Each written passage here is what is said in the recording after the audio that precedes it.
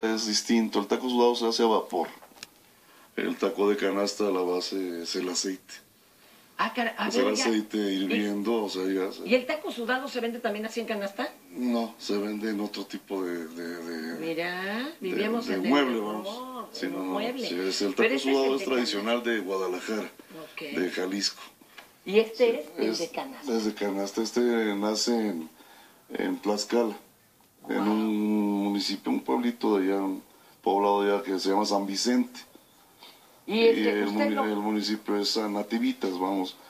Todavía, todavía salen, salen los, este, los canasteros de ahí, o sea, son familias allá que, y bueno, hacen. que lo hacen. Y de ahí se Oiga, pero acá ya ahora acá. es como que se hace industrial y uno pasa por su canasta y la Ya vender. cocinas que salieron de allá, ¿Y obviamente. usted lo hace así o usted lo prepara? No, o sea, yo lo propongo, sea, es un primo, bueno, el tío fue el que inició este negocio aquí en Por el Distrito Federal, eh, hace 50 años, ya falleció, ahora lo maneja mi primo Guillermo y yo trabajo hoy con ellos. bueno, Sí, deja, porque pues, han subido mucho los insumos, la materia prima es una cosa tremenda. Mm, Sí, sí, sí, sí, sí, deja, bueno, hay que trabajar mucho, hay que preparar también la cantidad. Aquí la, la es el volumen, Eso es la la, cantidad, ganancia. sí, esa es la ganancia. Oiga, ¿cuántas, ¿cuántos tacos trae un canastón de estos? Mm, Puede traer desde 100 hasta 1000.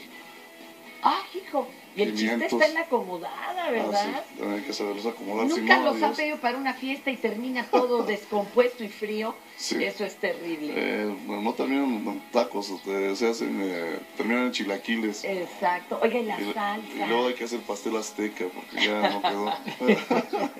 Ahorita regresando nos vamos a, nos va a explicar. Oiga, pero por ahí había un, un platito ya con taco.